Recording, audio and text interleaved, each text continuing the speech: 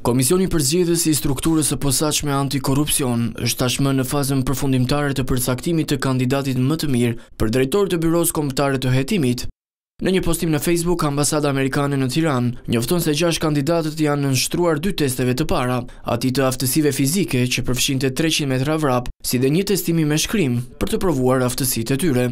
Kandidatët me më shumë pikë sipas ambasadës do t'i nënshtrohen edhe testimit poligrafik e më pas intervistës finale.